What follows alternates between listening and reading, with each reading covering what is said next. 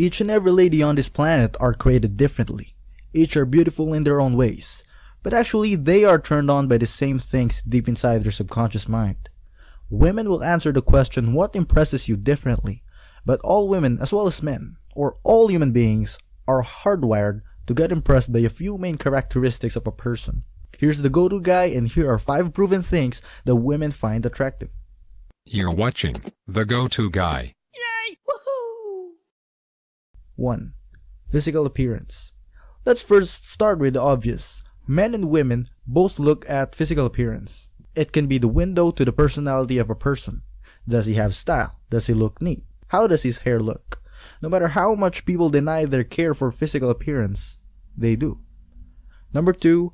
Financial capability. Here's another obvious one. Human beings care about money and possessions.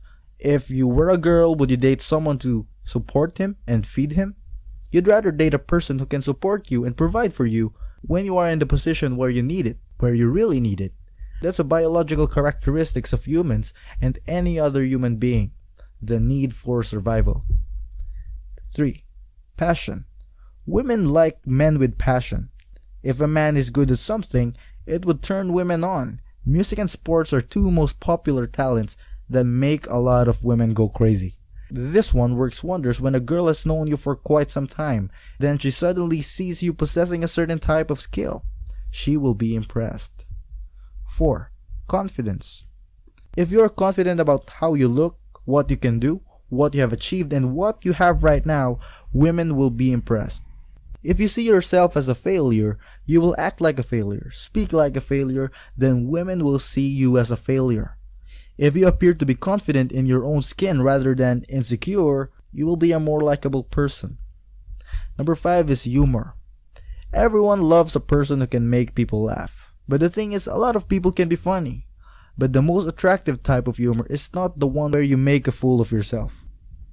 If you want to be funny, be funny in a way that you do not make fun of yourself, or you do not make fun of other people in a mean way. Our channel has a video called How to be funny in a conversation and here we talk about 3 steps that actual comedians use to spark laughter and attract good people. And if you want to check that out, simply visit our channel. Thanks for watching, feel free to leave a rating or comment.